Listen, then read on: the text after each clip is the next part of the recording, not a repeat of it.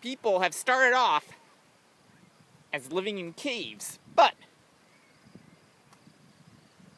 did everyone go towards modern technology?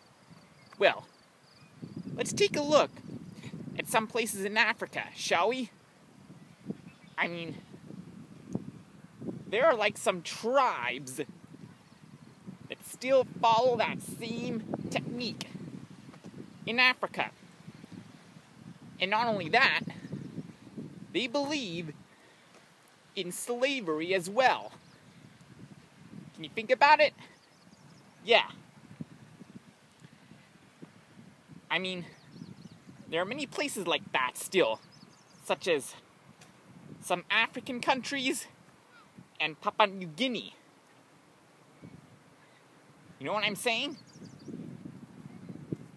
They don't like use guns or any of the modern equipment used today.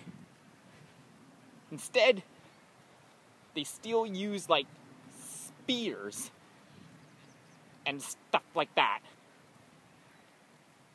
And they use them, actually use them as weapons over one thing.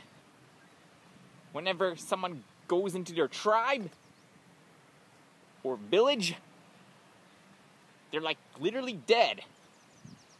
Seriously. This is like no joke at all.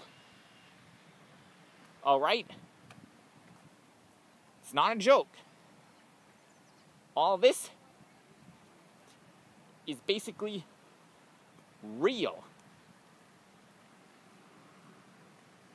That's what it all is. Alright? So think about that.